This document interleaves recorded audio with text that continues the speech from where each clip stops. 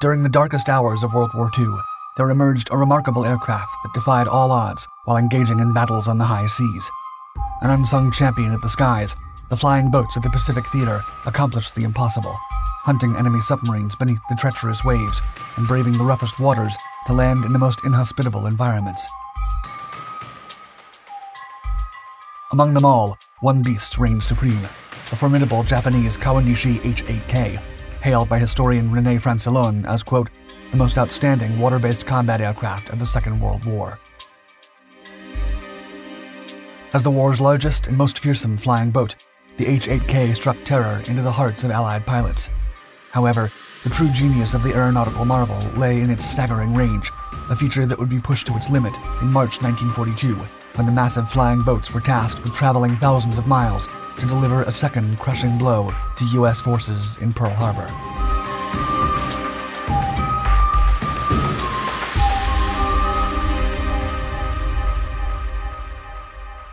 The Empire's winged boats. Long before World War I erupted, military factions around the world had already harnessed the power of flying boats and float planes for coastal reconnaissance and naval rescue operations.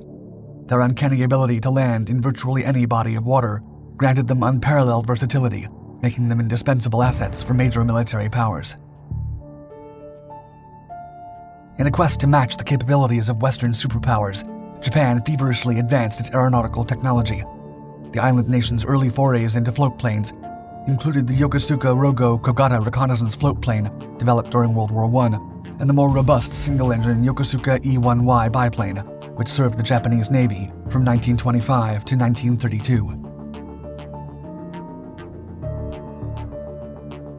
As the 1930s dawned and the Imperial Navy readied for Japan's expansionist campaigns, Japanese engineers turned to the West for inspiration in crafting a new generation of float planes. They found their muse in the British Short Rangoon.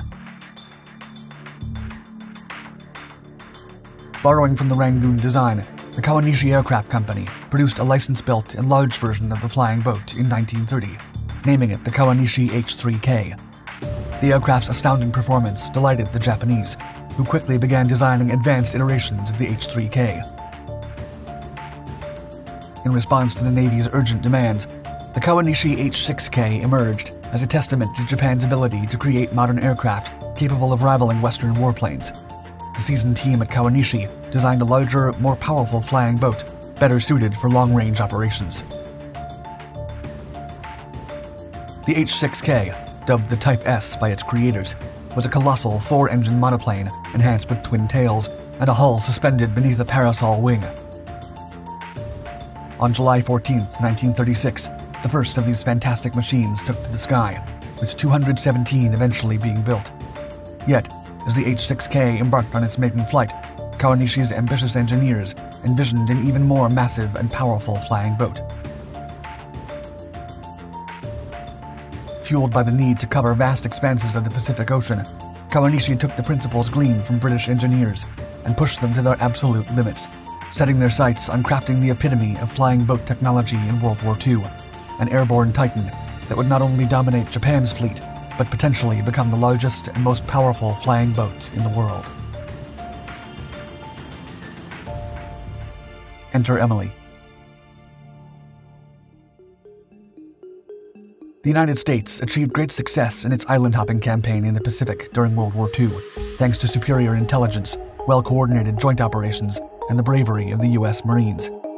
As a result, the PBY Catalina is now widely recognized as the most distinguished and successful flying boat of the conflict. However, despite its indisputable feats, Catalina pales in comparison to the sheer power, range, and size of the Kawanishi H-8K. This fearsome behemoth dwarfed its contemporaries, including the British short S-25 Sunderland and the Sikorsky XPB-S-1 patrol bomber.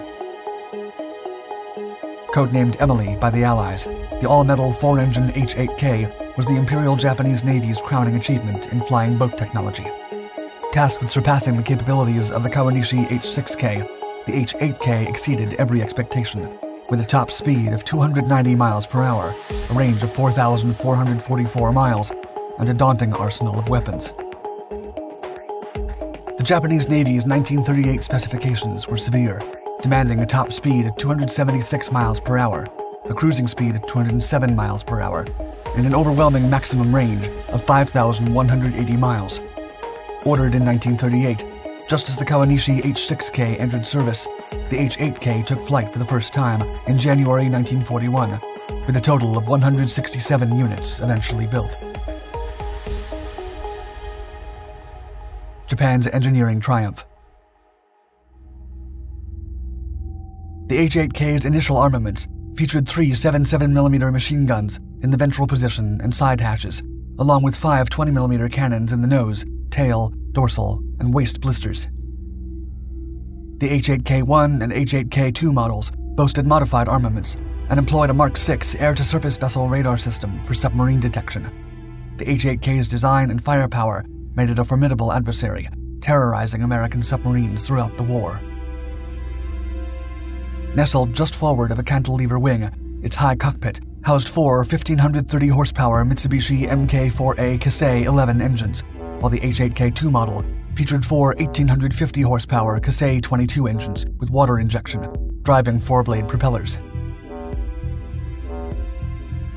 With eight small fuel tanks in the wings and six large, partially self sealing fuel tanks in the hull, the H8K had a fuel capacity of 4,500 gallons and its unique fuel recovery feature allowed fuel from pierced hull tanks to drain into the bilge and be pumped back into undamaged tanks. Though often hindered by the Japanese military's limitations, the H-8K had the potential to excel in a wide range of patrol, reconnaissance, bombing, and transport missions. Its spacious hull could accommodate 4,400 pounds of bombs or depth charges, or up to 64 soldiers, making it an invaluable asset in troop transport. The Kawanishi H-8K's formidable presence in the Pacific theater is a testament to Japan's engineering prowess and the aircraft's indomitable spirit. Its unmatched power, range, and size made it the king of the flying boats of World War II. Into the fray. Although Japan produced some truly superior designs in the early stages of the war, such as the Mitsubishi Zero and the H-8K, the country lacked the capabilities to sustain a prolonged military conflict in the Pacific. The technological marvels they produced were not built at the numbers and rates the Empire needed to keep the Allies at bay. The H-8K suffered from Japan's broader situation, with it never being produced in large enough numbers or deployed quickly enough to change the tide of the war. Nevertheless, the massive flying boat managed to demonstrate its impressive capabilities in many of the missions in which it was involved. The H-8K's baptism by fire occurred on March 4, 1942, during Japan's daring second raid on Pearl Harbor. Constrained by naval support and the lack of bases close to Hawaii, Japan had to plan the longest unescorted bombing sortie ever conceived to achieve its ambitious goal. The Kawanishi H-8K, a recently introduced flying boat, was the only warplane capable of making the over 3,000-mile journey Japan had initially planned for at least four H-8Ks to participate in the assault. The bomb-laden flying boats would reach the American naval base, gather intelligence on the status of repair and salvage operations following the surprise attack, and then unleash their payloads to disrupt the efforts. However, by the time the mission was approved, only two H-8Ks were available, and the scope of the sortie was reduced. The two planes departed from Wotje Atoll in the Marshall Islands and refueled at the French frigate Shoals before reaching Hawaii. A series of peculiar events and obstacles, ranging from cloud cover to poor Japanese communication and misidentification of targets, resulted in the raid inflicting no significant damage or American casualties. A mere six days after the second Pearl Harbor raid, one of the same H-8Ks embarked on a daring daylight photo reconnaissance mission over Midway Atoll. However, the powerful flying boat was intercepted by radar directed Brewster F 2A Buffalo fighters of Marine Fighting Squadron 221.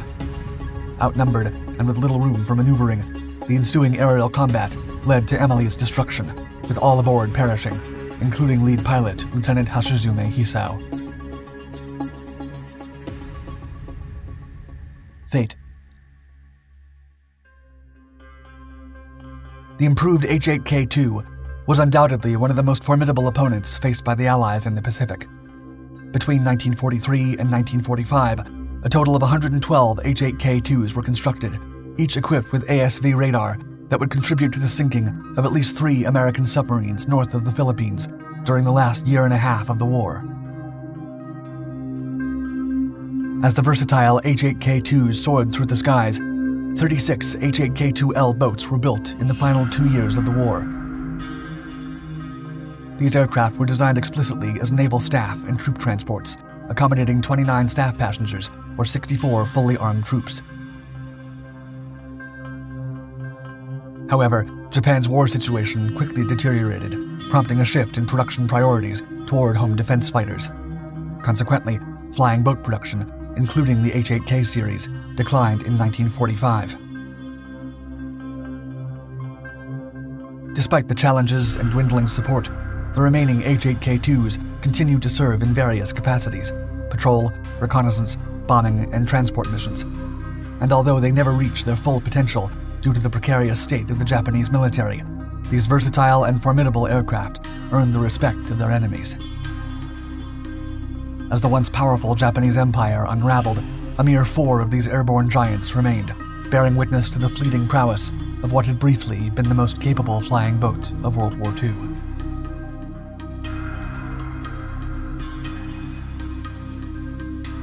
Thank you for watching Dark Skies. For even more fascinating naval warships and the grueling fights where they took part, tap your screen and delve into all of our Dark Documentaries channels. Stay tuned, we're always adding new videos to our collection.